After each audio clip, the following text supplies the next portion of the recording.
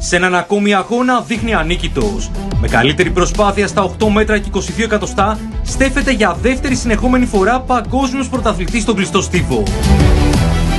Παρά τη νίκη του, η πρώτη του δήλωση μετά το τέλος του συγκλονιστικού τελικού δείχνει πόσο ταπεινός και προσγειωμένος είναι. Ε, ούτε στο χειρότερο μου εχθρό να κάνει τελικό το πρωί, πραγματικά. Ό,τι χειρότερο. Πολύ δύσκολο, πολύ. Δεν είχα καμία όρεξη, πραγματικά. Προσπαθούσα από μόνος μου να ενεργοποιηθώ. Έκανα συνέχεια κουνιόμουν, καλό ζέσταμα. Τα άλματά μου προσπαθούσα να κάνω ό,τι καλύτερο μπορώ, αλλά δεν έβγαινε, δεν έβγαινε επίδοση με τίποτα. Δεν... Ήταν χαμηλά οχτάρια, οκ, okay, εντάξει.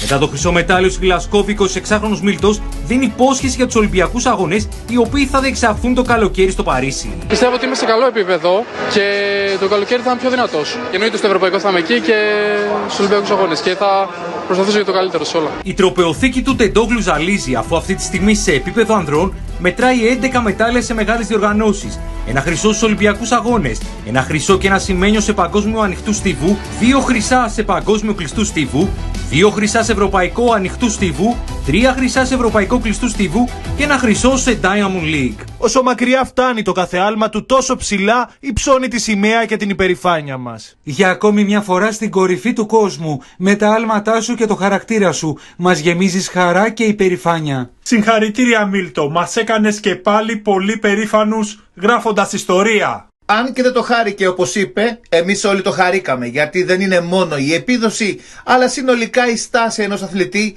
που γεμάτος ταπεινότητα συνεχίζει το ταξίδι του. Από μικρός στους δρόμους των Γρεβενών τραβούσε τα φώτα πάνω του.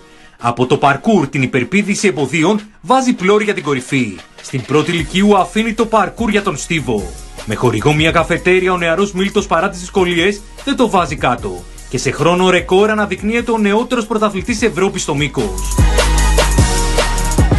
Ένας αθλητής φαινόμενο για το Στίβο, ο οποίος σύμφωνα με διεθνή μέσα ενημέρωσης μπορεί να πετύχει ακόμη και παγκόσμιο ρεκόρ. Δεν θα πέφτει καρφίτσα το τρίμερο των αποκριών σε αρκετούς προορισμούς.